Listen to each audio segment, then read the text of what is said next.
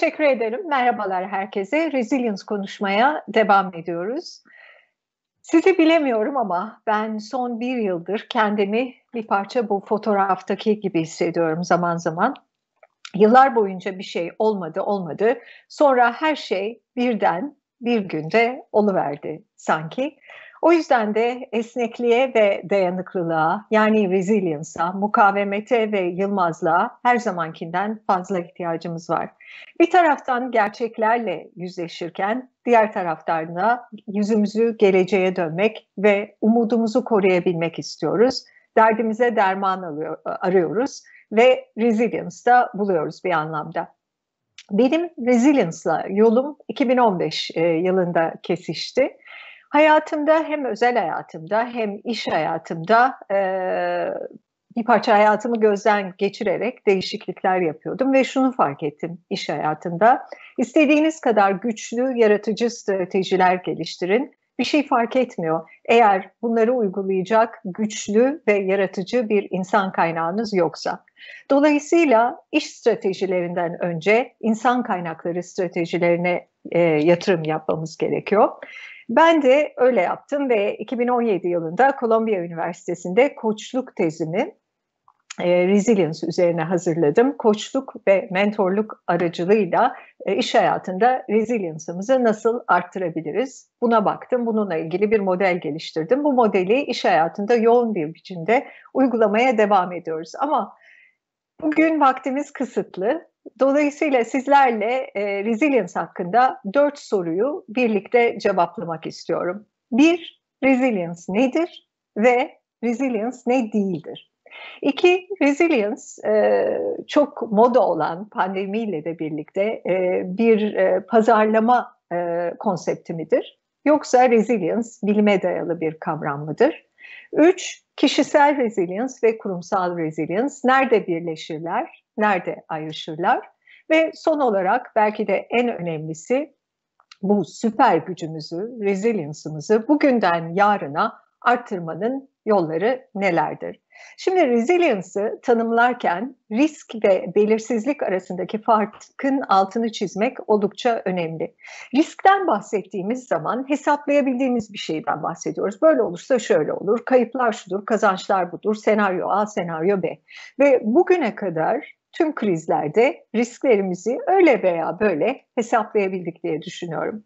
Ama belirsizlik öyle bir şey değil. Riskleri hesaplayamıyoruz ve ilk defa bu krizle birlikte belirsizlik yoğunlaştı. Riskleri gerçekten hesaplayamamaya başladık ve insan beyni bununla çalışmaya, bununla düşünmeye pek alışık değil. Beynimizin şu arkasında tam burada minicik bir bölüm var amigdala. Amigdala kaç ve veya savaş mekanizmasından sorumlu e, ve belirsizlikle karşılaştığımızda amigdala devreye giriyor. Devreye girdiğinde ne oluyor? E, kortizol hormonu salgılanmaya başlıyor. Stres seviyemiz, endişemiz, korkularımız tavan yapıyor. Ve belirsizlikle uğraşırken, belirsizlik içinde krizleri yönetmeye çalışırken resilience da e, bize en çok yardımcı olan e, davranış biçimlerinden bir tanesi. Resilience'ı en basit olarak bir bambu kamışı kadar esnek ve dolayısıyla dayanıklı olmak diye tanımlayabiliyoruz. Bambu enteresan bir bitki. Dünyanın aşağı yukarı tüm coğrafyalarında ve iklimlerinde var. Bizim arka bahçede de var, Avustralya'da da var, Amerika'da da var. Yağışa da, kuraklığa da bir o kadar dayanıklı. Günde 9 santimden fazla boy atıyor ama en önemli özelliği şu, gerilme gücü çelikten daha fazla. Yani bir bambu kamışını istediğiniz kadar eğip bükebiliyorsunuz ama kıramıyorsunuz. O yüzden de resilient olmaktan bahsettiğimizde bir bambu kamışı kadar esnek dolayısıyla dayanıklı olmaktan bahsediyoruz. Amerikan Psikoloji Derneği resilience'ı tehdit, travma ve trajedi karşısında hızla yeni şartlara adapte olma yeteneği olarak tanımlıyor. Harvard Business School adaptasyon yeteneğinin kişiselleştirilmiş halidir, kişiye özel formülüdür diyor. Ben resilience'ı uçurumdan bakma cesareti olarak tanımlıyorum. Eminim hepimiz hayatımızda birkaç kez uçurumun kenarına geldiğimizi hissettik. Ve her ne kadar korksak da, başımız dönse de kendi gerçeklerimizle yüzleşmek zorunda kaldık. Yani kendi uçurumumuzdan bakma cesaretini göstermek zorunda kaldık. Dolayısıyla cesaret, gerçekçilik ve gerçekçiliği iyimserlikle dengeleyebilmek resilience'ın DNA'sında var. Olmazsa olmazları. Peki resilience ne değil? Resilience'ı aslında Türkçe'ye birebir çeviremiyoruz. O yüzden mukavemet diyoruz, yılmazlık diyoruz, esneklik artı dayanıklılık diyoruz. Ama resilience sadece ayakta kalmak ve olduğumuz yere geri dönmek değil. Resilience değişimle birlikte değişmek demek. Değişirken gelişmek, bir şeyler öğrenmek, aynı kalmamak demek. O yüzden de e, çeviklikten bahsettiğimiz zaman bu resilience değil. Çünkü çeviklik hız içeriyor, hızı vurguluyor. Veya perseverance'dan bahsettiğimiz zaman yani azim etme, azimle devam etmek, sebat etmekten bahsettiğimiz zaman bu da sadece resilience demek değil. Çünkü bu da güç odaklı bir yaklaşım. Ama resilience süreç odaklı, sonuç odaklı değil, güç odaklı değil.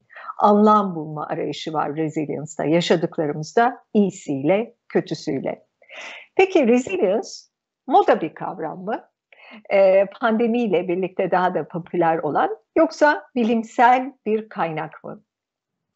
Resilience kesinlikle bilimsel bir öğreti, bir kaynak. İlk olarak Viktor Frankl tarafından 1940'lı yıllarda ortaya atılıyor. Viktor Frankl, Avusturyalı bir nörolog ve psikiyatr.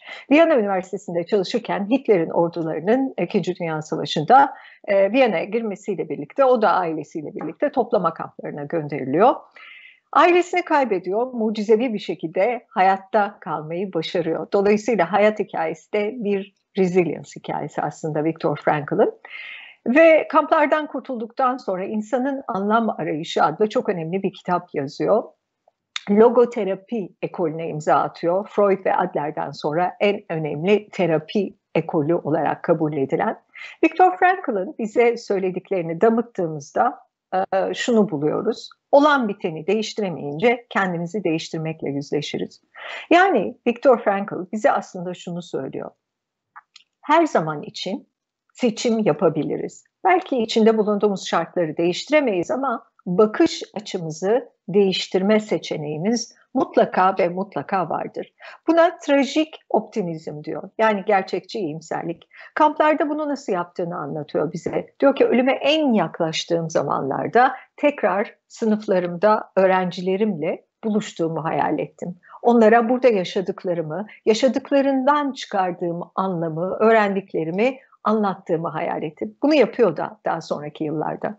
Dolayısıyla resilience ile ilgili birinci e, bilimsel veri şu sizinle paylaşabileceğim. İnsan e, ne zevk ne de güç peşinde koşarak bir yerlere varabiliyor, krizlerde ayakta kalabiliyor. İnsan hayatında bir anlam bularak yani gerçekleriyle yüzleşerek ve bunu iyimserlikle de bir parça bu gerçeklerin acı tadını kırarak ayakta kalabiliyor.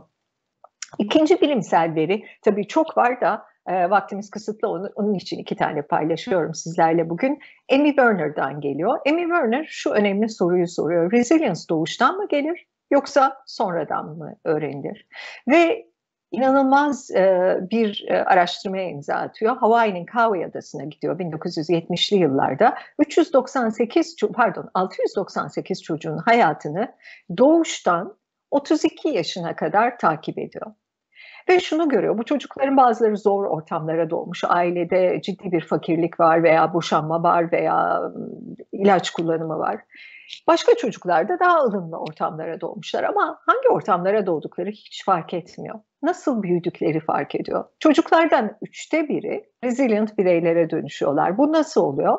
Bir, problem çözmesini bir şekilde öğrenmişler. Kendi ayakları üzerinde durabiliyorlar. İki, hayatlarında danıştıkları, e, dertleştikleri bir rol modelleri olmuş büyürken. Üç, yardım etmeyi öğrenmişler. E, fakirleri doyurmuşlar, sokak hayvanlarına yardım etmişler, kilisede çalışmışlar ve son olarak iletişim kabiliyetleri kuvvetli dostlukları var ve bu dostlukları derinleştirerek sürdürebiliyorlar. Yani bilimsel veri 2 bize şunu söylüyor. Resilience doğuştan gelen bir özellik. E, değildir. ve değiştiremeyeceğimiz bir kişilik özelliği de değildir. Resilience herhangi bir yaşta bugün de öğrenebileceğimiz bir düşünme ve davranış şeklidir. Peki, kişisel ve kurumsal resilience'a gelecek olursak, kişisel resilience nedir, kurumsal resilience nedir, nerede birleşirler, nerede ayrışırlar? 27 küsür yıllık e, iş hayatım bana hiçbir şey göstermediyse şunu gösterdi. Kim olduğun nasıl yönettiğini belirliyor. Kim olduğunu nasıl yönettiğini belirliyor. Dolayısıyla biz nasıl bir insansak öyle bir lider oluyoruz ve bunu da şirketimize, çalışma ortamımıza birebir yansıtıyoruz. O yüzden ister kişisel resilience'dan bahsedelim, ister kurumsal resilience'dan bahsedelim. Prensipleri aslında birebir aynı. Gerçekçi olmak, yardım isteyebilmek, esnek kalabilmek, proaktif olmak, reaktif değil proaktif davranmak ve gerçeklerin acı tadını umutla dengeleyebilmek. Yani gerçekçi iyimserlikte bir denge kurabilmek. Şimdi bunları bir parça iş hayatına yönelik örneklerle derinleştirmek isterim.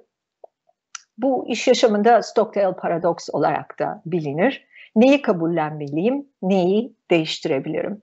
Gerçekçilik ki kabullenmekten geçiyor. Amiral James Stockdale e, Amerikan ordusunda Vietnam'da savaşmış ve 7,5 yıl esir düşmüş. Sonra kurtulmuş, geri dönmüş ve aslında e, savaş tecrübelerini iş hayatında da öngörüler olarak bizimle paylaşmış bir lider, bir savaşçı. Diyor ki Vietnam'da ilk ölenler iyimserlerdi.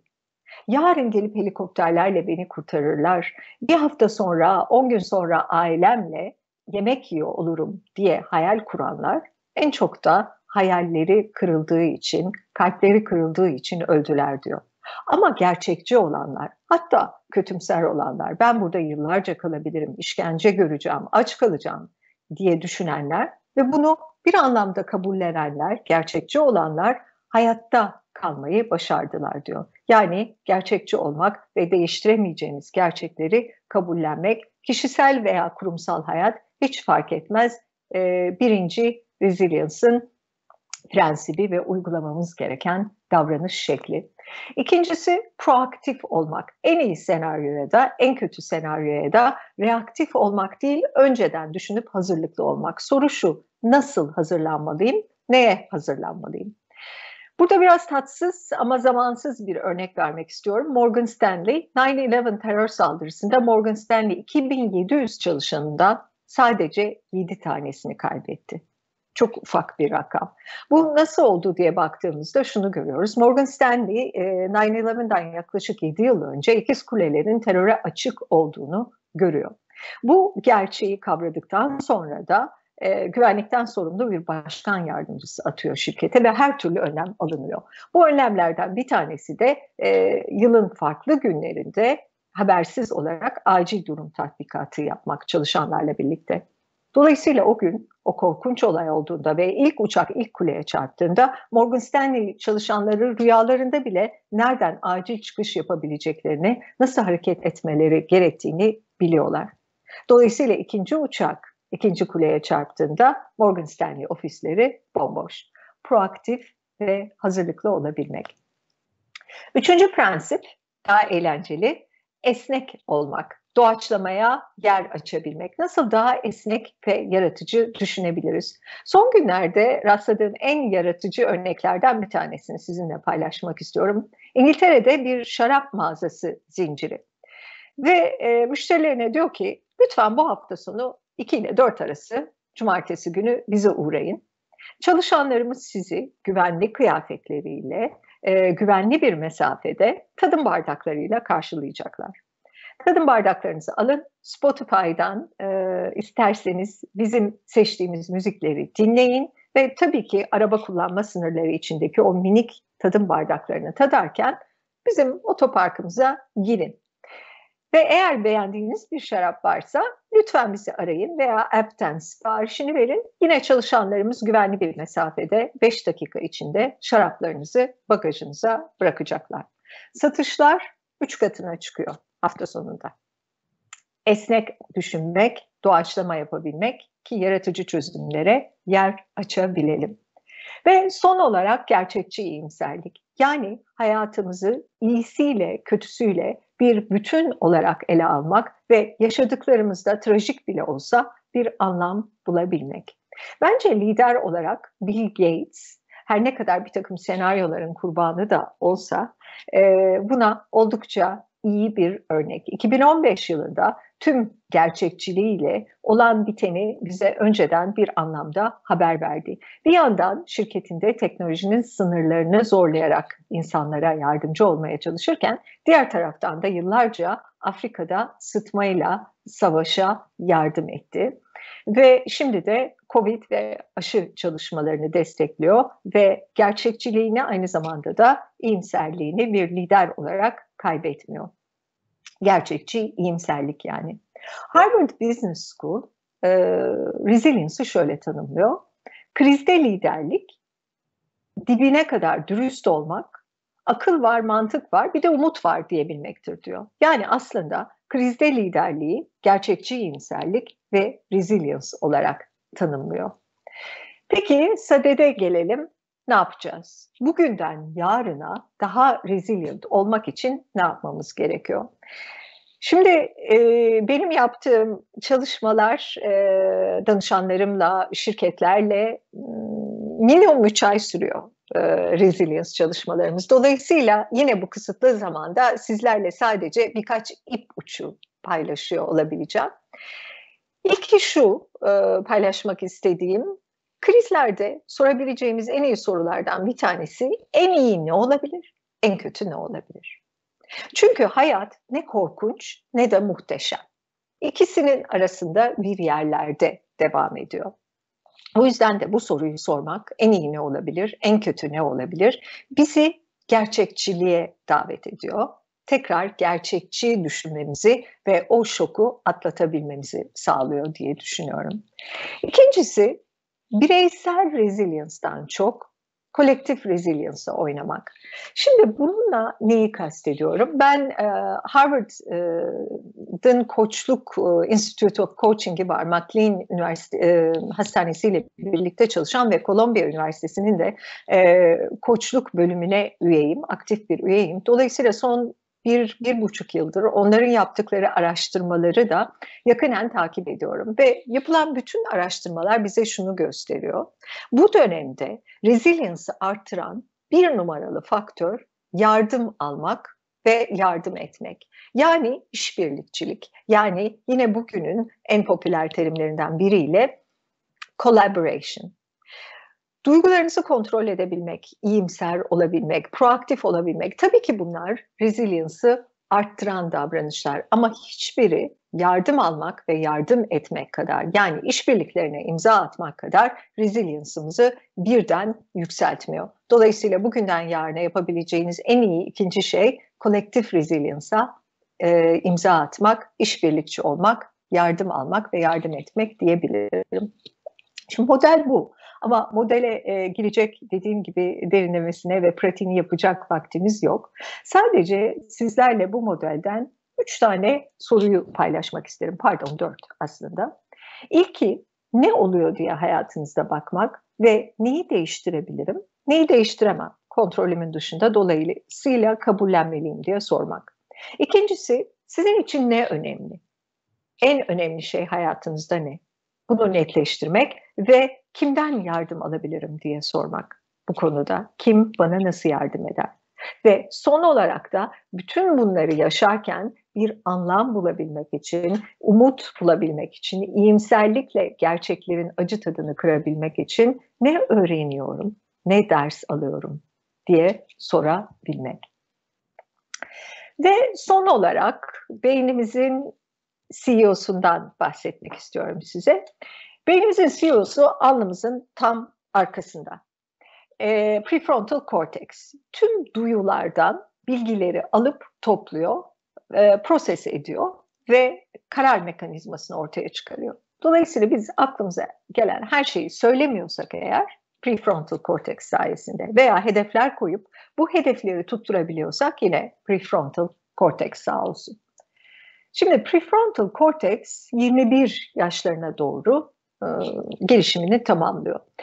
Hepimiz aşağı yukarı böyle bir döngüden geçiyoruz. Doğuyoruz, büyüyoruz, e, ergenlikten geçiyoruz, anne babalarımızı zorluyoruz, özgüvenimiz gelişiyor. Sonra 20'li yaşlarımıza geliyoruz. Prefrontal korteks gelişimini tamamlıyor. 20'li yaşlarda en iyi eş, en iyi iş arayışındayız. Harıl harıl bununla uğraşıyoruz. 30'lu yaşlara geldiğimizde duygusal gelişimimiz tamamlanmaya başlıyor ve işimizde yükseliyoruz. Kariyerimiz e, genişlemeye, derinleşmeye başlıyor. Belki çocuğumuz oluyor, ailemiz büyüyor. Sonra orta yaşlara doğru ilerliyoruz. Orta yaşlara doğru ilerlerken biraz da ikinci ergenliğe giriyoruz. Ben ne yaptım, ne yapamadım diye soruyoruz. Ben kimim ve dolayısıyla kim değilim? Çünkü hayat seçimlerden ibadet. Sanıyorum pandemi hepimizde bir anlamda ikinci ergenliği tetikledi değil mi? Hayatımızda ne önemli, ne yaptık, ne yapamadık, bundan sonra ne yapmak istiyoruz, ne öncelikli bunları sorgular bulduk kendimizi. Ve e, bu sorulara verdiğimiz cevaplarla da yeni bir enerjiyle hayata sarılıyoruz ve resilience'ımız üzerinde de çalışmaya devam ediyoruz. Ama bu süreçte bence şunu bir parça unutuyoruz. Gölgede bırakıyoruz. Çocuk halimizi ve çocuk aklımızı. Tıpkı bu fotoğraftaki duyguyu yani bence bu kız çocuğu no dogs, no bicycles, no swimming diyor ama e, oraya girer, yüzer köpeğiyle birlikte e, denizi seyreder. Burada şundan bahsediyorum. E, bir çocuk gibi düşüp kalkabilmekten, e, bir an gülüp öbür an ağlayabilmekten, bir çocuk gibi meraklı olup her şeyi sormaktan, sorgulamaktan, bir çocuk gibi cesur olabilmekten bahsediyorum. Tabii ki e, tamamen çocukluğumuza dönelim, çocuk gibi hareket edin demek istemiyorum. Sadece çocuk ruhumuzu kaybetmeyelim, ona biraz daha fazla dokunalım eğer resilient olmak istiyorsak diyorum. Gerçekçiliği ve iyimserliği bir arada gösterip yaşadıklarımızda bir anlam bulmak istiyorsak. Turgut Uyar'ın dediği gibi belki de asıl ustalık bu. Her zaman acemi olmayı bilmek. Düşünüyorum da biz büyüyerek çocukluk etmişiz der. Lütfen yarın en iyi ne olabilir, en kötü ne olabilir diye sorun kendinize. İşbirlikçi olun, yardım isteyin, yardıma ihtiyacı olanlara yardım edin. Ama en önemlisi çocuk aklım nerede saklı diye sormayı ve çocuk aklınıza dönmeyi de unutmayın derim. Benim söyleyeceklerim bugünlük bu kadar. Çok teşekkür ediyorum.